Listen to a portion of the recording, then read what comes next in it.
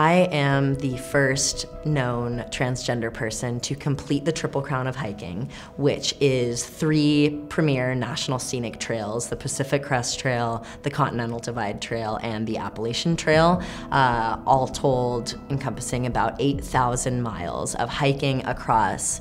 Uh, it goes through national parks, state parks, municipal parks, uh, BLM land, um, and other sorts of public lands. It was always such a a privilege to be able to exist in those places backpacking where, you know, the objective is you carry everything you need on your back for however many months you're out there. So to be able to exist in those spaces in a very pure way was such a life-changing experience. It was deeply moving to see, you know, to cultivate my own relationship with the land and to meet so many people like Parks and Rec professionals that keep the land curated and healthy and strong um, and cultivate that biodiversity and human diversity. I became involved with NRPA through the podcast uh, on Open Space Radio.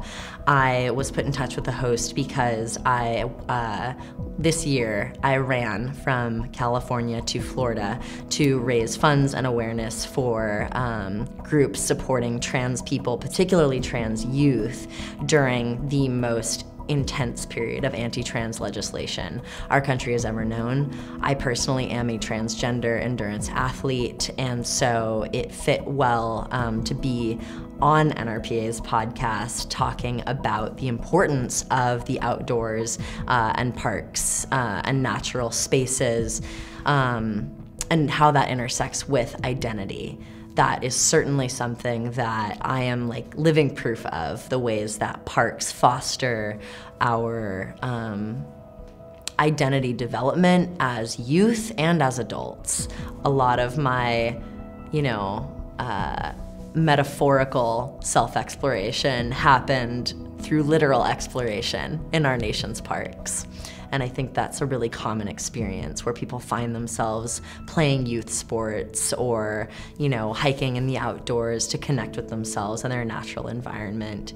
It wasn't until I was in these natural spaces with nature and myself being alone that I was able to strip away all of the expectations, all of the projections, and really start to connect to myself and those voices that had always been there, but that had been drowned out by external factors, and really think about who am I internally and how do I start to live authentically in a way where my outside will reflect my inside. And that means physically, but also in my actions, in my rhetoric living a life that is authentic to who I am. And I found that in those natural spaces where it gets quiet.